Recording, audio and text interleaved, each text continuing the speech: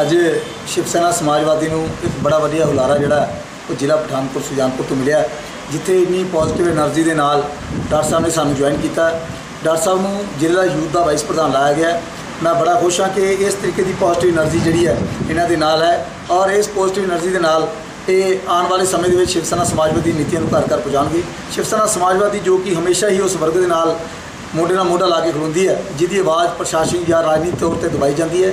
ਉਸ ਆਵਾਜ਼ ਨੂੰ ਬੁਲੰਦ ਕਰਕੇ ਉਸ ਨੂੰ ਇਨਸਾਫ ਦਿਵਾਉਣਾ ਜਿਹੜਾ ਸਾਰਾ ਮੇਨ ਮੋਟਿਵ ਹੈ।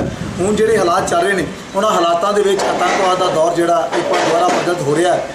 ਜੀਐਨਕੇ ਦੇ ਵਿੱਚ ਗੱਲ ਹੋਵੇ ਜਾਂ ਪੰਜਾਬ ਦੀ ਗੱਲ ਹੋਵੇ, ਇਹ ਜਿਹੜਾ ਦੌਰ ਹੈ, ਇਹ ਇੱਕ ਕਿਸਮ ਦੀ ਵਾਪਸੀ ਕਰ ਰਿਹਾ ਹੈ। ਇਹਦੀ ਰੋਕਥਾਮ ਵਾਸਤੇ ਨੌਜਵਾਨਾਂ ਦਾ ਇਕੱਠੇ ਹੋਣਾ ਔਰ ਹਿੰਦੂ ਸਮਾਜ ਦਾ ਇਕਜੁੱਟ ਹੋਣਾ ਬਹੁਤ ਜ਼ਰੂਰੀ ਹੈ। ਆਉਣ ਵਾਲਾ ਸਮੇਂ ਆਉਣ ਵਾਲਾ ਸਮੇਂ ਜਿਹੜਾ ਉਹ ਬਹੁਤ ਹੀ ਜ਼ਿਆਦਾ ਸੰਵੇਦਨਸ਼ੀਲ ਹੈ। ਇਸ ਦਾ ਮੁਕਾਬਲਾ ਕਰਨ ਵਾਸਤੇ ਹਿੰਦੂ ਸਮਾਜ ਨੂੰ ਇਕਜੁੱਟ ਹੋਣਾ ਜਿਹੜੀ ਉਹਦੀ ਮਜਬੂਰੀ ਵੀ ਹੈ ਔਰ ਕਾਫੀ ਹੱਦ ਤੱਕ ਹਿੰਦੂ ਸਮਾਜ ਇਕਜੁੱਟ ਹੋਇਆ ਪਿਛਲੇ ਅਮਰਨਾਥ ਯਾਤਰਾ ਦੌਰਾਨ ਹੱਤਕੀ ਹਮਲੇ ਦੇ ਜਿਹੜਾ ਹਮਾਰੇ ਸਾਡੇ ਨੌਜਵਾਨ ਸ਼ਹੀਦ ਹੋਏ ਨੇ। ਉਹਨਾਂ ਦੀ ਸ਼ਰਧਾਂਜਲੀ ਵਾਸਤੇ ਜਿਹੜਾ ਕੱਲ ਬੰਦ ਕੀਤਾ ਗਿਆ, ਪੂਰਨ ਤਰੀਕੇ ਨਾਲ ਬੰਦ ਰਿਹਾ। ਸੁਜਾਨਪੁਰ ਦਾ ਬਹੁਤ ਅਹਿਮ ਰੋਲ ਰਿਹਾ। ਨੌਜਵਾਨਾਂ ਨੇ ਅੱਗੇ ਆ ਕੇ ਉਸ ਬੰਦ ਨੂੰ ਕਾਲ, ਬੰਦ ਦੀ ਕਾਲ ਨੂੰ ਸਕਸੈਸ ਕੀਤਾ ਔਰ ਇਹ ਦਰਸਾਉਂਦਾ ਕਿ ਸਾਰਾ ਹਿੰਦੂ ਸਮਾਜ ਚਾਹੁੰਦਾ ਕਿ ਇਕਜੁੱਟ ਹੋਏ।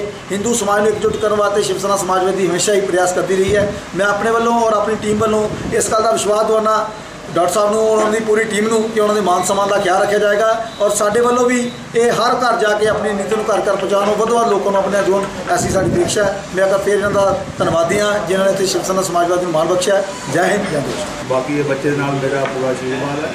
ਜਿੱਥੇ ਮੇਰੀ ਜ਼ਰੂਰਤ ਹੋਈ ਮੈਂ ਤੁਹਾਡੇ ਨਾਲ ਖੜਾ ਹਾਂ